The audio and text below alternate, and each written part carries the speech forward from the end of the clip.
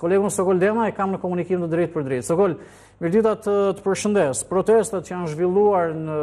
Vlorë, Himarë, Sarandë, Durrës, Velipojë, tashmë janë zhvendosur në kryeqytet. Çfarë mund të përcjellësh?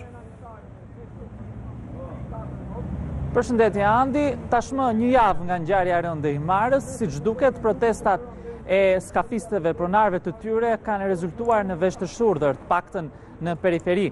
përsa i përket të Himarës dhe vendeve të tjera ku janë zhvilluar pak a shumë. Ndërsa ditën e sotme ata të mbledhur nga e gjithë Shqipëria kanë vendosur të protestojnë përpara drejtorisë së përgjithshme të policisë së shtetit në kryeqytet, ndërsa një përfaqësi prej katër prej tyre tashmë janë pritur brenda drejtorisë dhe po diskutojnë për zgjidhjen e problematikës në fjalë. Që prej ditës kur ngjarja ka ndodhur pra një javë më parë në Himarë ka patur një kontroll të shtuar të policisë së shtetit në të gjithë vijën bregdetare shqiptare për pikasjen e të gjitha atyre skafeve dhe gomoneve që praktikisht janë shoqëruar për të bërë të mundur në njëfarë forme një pjesë të tyre kontrollin e dokumentacioneve, por asnjë prej tyre nuk është lejuar që të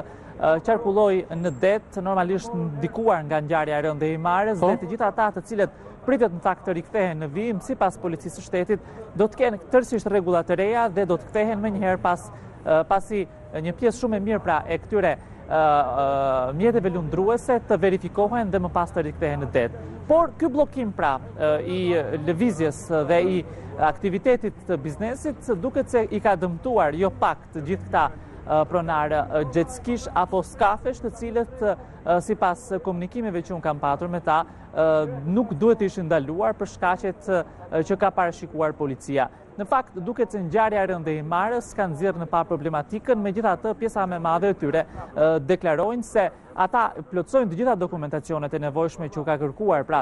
autoritetet shtetërore dhe pa diskutim që nuk nuk duan pra që të ndalojnë aktivitetin. Katër përfaqësuesit të cilët janë aktualisht brenda drejtorisë po? së përgjithshme të policisë së shtetit pritet të prononcohen për mediat për të dhënë edhe një verdikt final se çfarë u kanë komunikuar brenda në polici dhe a do të ketë një vendim për lirimin e këtyre e këtij aktiviteti për të vijuar në det.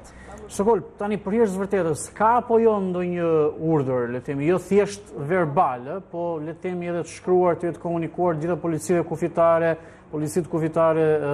pronarëve të këtyre mjeteve lundruese, në kuptimin se një pjesë e tyre thonë që jemi totalisht me licencë, dokumentacion të rregullt, nuk kemi bërë diçka të paligjshme që do të thotë në në zona të ndaluara dhe pse ndalohen të punojnë sepse për ata edhe një apo dy ditë janë të rëndësishme në mesin e sezonit turistik. Çfarë situate është kjo? Në fakt nuk ka një urdhër të shkruar që të jetë shpërndarë në mënyrë zyrtare t'u ketë shkuar këtyre pronarëve pra jet skish apo skafesh për pezullimin e aktivitetit të tyre, duke ditur që gjithçka të paktën sipas tyre është ligjore dhe plotëson dokumentacionin e duhur. Megjithatë, policia e shtetit në këto ditë të fundit ka ndërmarrë një numër të konsiderueshëm të kontrolleve dhe në një farë forme duket se ka futur në sitë të gjitha këto mjete lundruese. Referuar burimeve brenda policisë, pritet që në ditët në vijim të ketë të paktën qarkullim të këtyre automjeteve dhe rikthim në det të automjeteve të këtyre mjeteve lundruese ndjesë, që në një farë forme pas një kontrolli të imtësishëm për plotësimin e dokumentacioneve. Megjithatë, të gjitha do të jenë me rregulla të reja jo siç është jo siç kanë qenë të përcaktuara më përpara. Rregullat akoma nuk janë publikuar dhe pritet në ditët në vijim policia kufitare të bëjë të ditur të gjitha rregullat në fjalë për të mundur pra edhe vijimësinë e këtij aktiviteti pa problematika. Mirë, faleminderit sa për momentin.